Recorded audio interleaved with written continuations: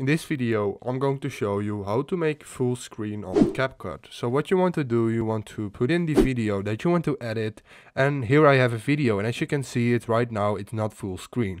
So what you want to do for that, it's really easy. You want to hit the, the video here. So this is the video and you want to make sure to select the part where you want to do it. So I select this then use two fingers and as you can see the blue lines come and if I make it bigger this happens and if I make it smaller this happens. I can also rotate it but this is basically how you can change the size and if I make it bigger right now you can see now it's in full screen.